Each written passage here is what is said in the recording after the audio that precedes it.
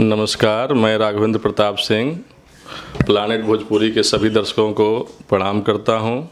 जी, हमारी कंपनी है T F T F मतलब होता है टीम फ़िल्म भोजपुरी। ये भोजपुरी की कंपनी है। इसका मेन हेड ऑफ़िस दिल्ली में है।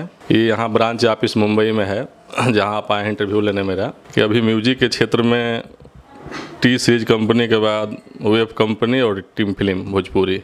Team film Bhojpuri मात्र दो साल की कंपनी है।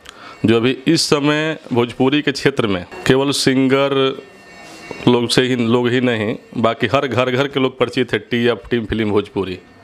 हर पब्लिक जान रही है टीम फ़िल्म भोजपुरी क्या चीज़ है। हर टाइप के गाने, छठ, गीत, संगीत, जो भी होता है, देवी गीत, फगुनी गीत, चैता, चैती, अच्छे क्वालिटी के नंबर हम लोग बनाते हैं। हमारी माँ बहनें इसको अच्छा पसंद करती है, देखती है।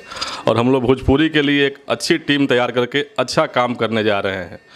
जो आज के पंद्रह साल पहले टी सीरीज़ कंपनी करती थी, अभी बीच में जो भोजपुरी का थोड़ा सा निम्न स्तर हो गया था, उसके लिए टीम फ़िल्म भोजपुरी की शुरुआत कर दी गई।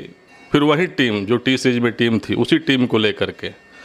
सब अच्छे अच्छे जाने पहचाने लोग हैं जिनसे आप मिलेंगे, आपको खुद ही पता हो जाएगा कि इस कंपनी से कौन कौन लोग जुड़े हुए हैं। मैं इस कंपनी में एक प्रबंधक के रूप में हूँ, राघवेंद्र प्रताप सिंह, जो कि मैं भी यूपी बलिया का रहने वाला हूँ। पंद्रह बीस साल से इस लाइन में हम भी काम कर रहे हैं।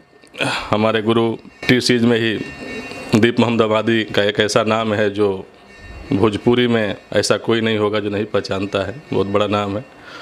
वही हमारे सीनियर लोग हैं, जो आज वो इस कंपनी में भी एक बड़े पद पे मौजूद है। हम लोग अपनी कंपनी खुद ही होम प्रोडक्शन फ़िल्म बनाने जा रही है।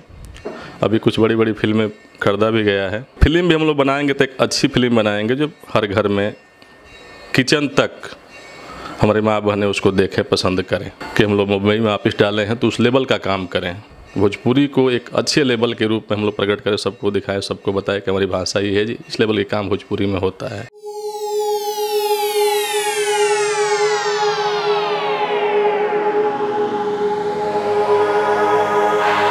Planet bhojpuri